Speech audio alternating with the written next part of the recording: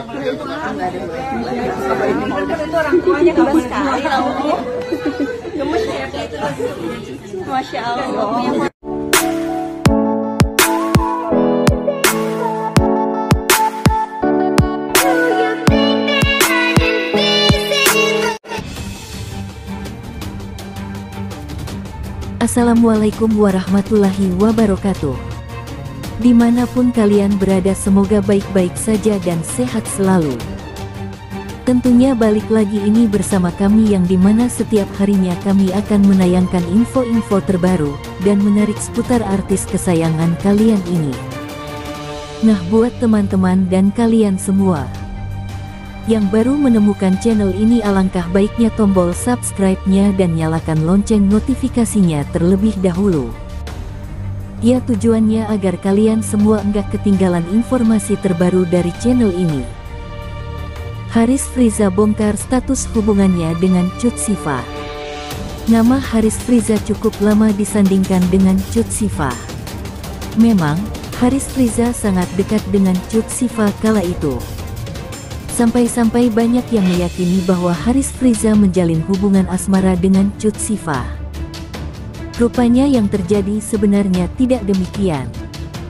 Haris Friza sama sekali tidak pernah pacaran dengan Cut Sifa. Hal itu disampaikan Haris Friza dalam video di kanal YouTube. Kita aja nggak pernah pacaran, kenapa kita harus jadi sepasang kekasih? Hahaha pacaran itu kan kayak, lo pacar gue dan lo nggak boleh sama cewek lain, yaitu enggak terjadi, tutur Haris Friza, pada Rebu tanggal 25 Oktober tahun 2023. Haris Friza dan Cut Sifa, rupanya tidak pernah memiliki komitmen apa pun tentang jalinan asmara.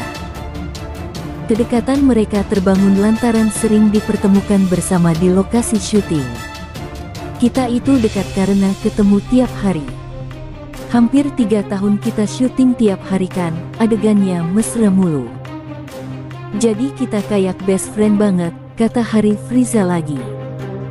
Jadinya karena sedekat itu, Aku cerita tentang hidup aku, dia cerita tentang hidup dia. Kita dekat, aku anggap dia sahabat aku.